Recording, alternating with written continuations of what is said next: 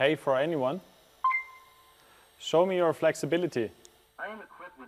So könnte die Haushaltshilfe der Zukunft aussehen. Der Humanoid for Anyone kommt aus Metzingen und soll von da aus die ganze Welt erobern. Im Grunde genommen ist es ein Multipurpose-Device, also das heißt ein, ein Allzweckgerät. Ne? Ähm, in diesem Fall kann es im Haushalt, aber genauso auch in jeder Industrie eingesetzt werden, da wo Menschen heute eingesetzt werden. Dinge mit künstlicher Intelligenz erkennen. Greife Maus. Verstehen und greifen, das ist neu. Bisher mussten Roboterarme von Fachleuten mühsam eingerichtet werden. Dieser hier kann sich seine Bewegungen selbst ausdenken und programmieren. Gib mal her. Wir haben heute Facharbeitermangel.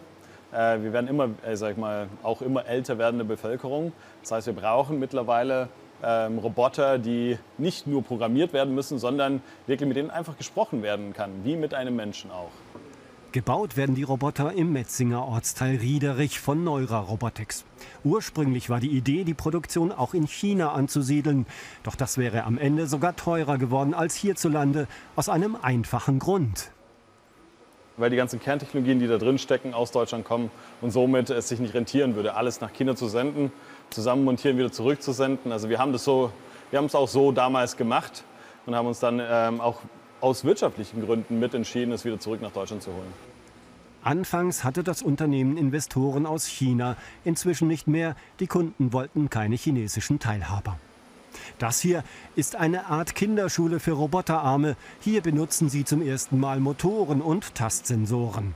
Ihre künstliche Intelligenz wird auf die kommenden Aufgaben trainiert, in etwa so wie Menschen am Anfang ihres Lebens lernen, Arme und Beine zu gebrauchen was sie hier tun, die lernen genau das. Also sie lernen sich selber kennen. Das heißt, wie ist das Verhalten der Kabel im Roboter, wie ist das Verhalten, sag ich mal, der Temperatur ähm, im Roboter, wie ist die ganze Reibung und so weiter und kompensiert sich dadurch. Das heißt, wir füllen ein neuronales Netz und daraus kommt das Wissen, um sich bewegen zu können, genau zu sein, sensitiv zu sein. Hey, for anyone, can you see something to eat? There's a can of Pringles chips on the table. Inzwischen wird in Metzingen an dieser neuen Generation Roboter gearbeitet. For Anyone kann womöglich irgendwann bei jedermann zu Hause unter die Arme greifen, mit Hilfe künstlicher Intelligenz.